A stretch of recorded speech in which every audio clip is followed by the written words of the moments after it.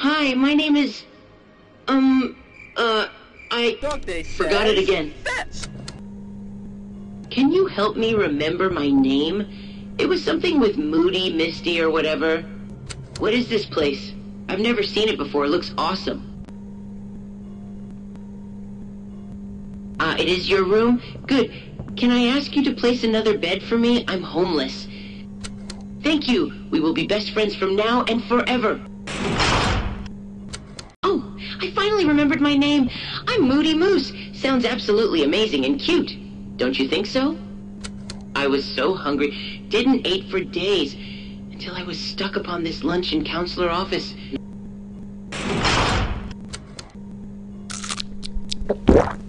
Ah, I'm not feeling good today. Ate something wrong. Go-